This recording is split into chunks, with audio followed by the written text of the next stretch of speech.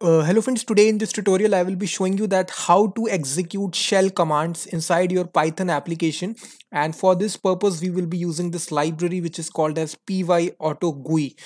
So the all the source code regarding this application will be there inside the video description. You can just go to my blog here.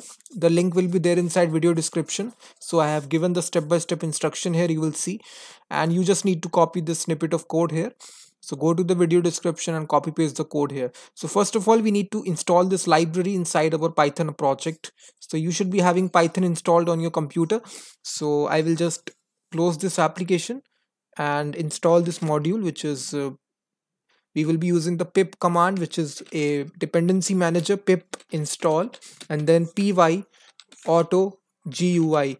So basically this is the automation library inside Python. So I have already installed this so after doing that guys you just need to simply go to my blog and simply copy to clipboard copy the snippet of code and simply make a app.py file here inside your root directory. Py is the extension of python and simply you need to control v paste this code here.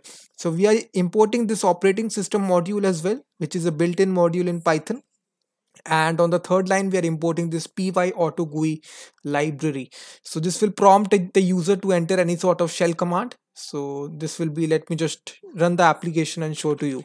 Python app.py and now if i run this application you will see it will have this gui interface. You can see this is a simple GUI interface similar to Tkinter. Here you will enter any sort of valid shell command. Let's suppose I want to uh, print my node version which is node space dash v. If I execute this command click on OK you will see it will show me the node.js version which is installed on my computer which is version 12.16.3 so in this way you can uh, just instantiate any sort of shell command inside this uh, Python GUI kind of a application using PyAutoGUI.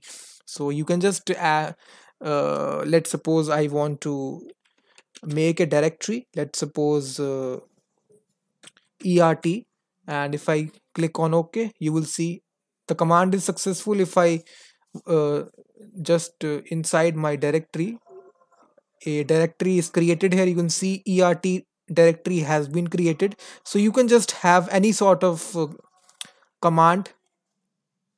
Uh, you can uh, just execute any sort of command by inside this text field here you can just write any sort of command which you can see I, if I want to print out the Python version Python dash v if I click sorry this is a invalid command.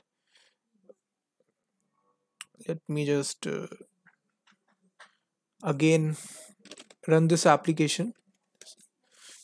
Python app.py so i think in order to print out the version of python this is python dash dash version. So if i just execute this you will see python 3.7.9 so in this way you can just execute any short uh, any sort of shell command inside your python application using py all the source code regarding this application will be there inside the video description. You can just go to it and download all the source code.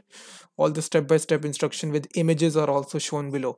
And now also check out my website guys freemediatools.com this is a tool-based website that i built using node.js and express and it is hosted on live freemediatools.com a total of 180 tools are there related to audio image and video. And please share this website with your friends and I will be seeing you in the next video. Until then, thank you very much.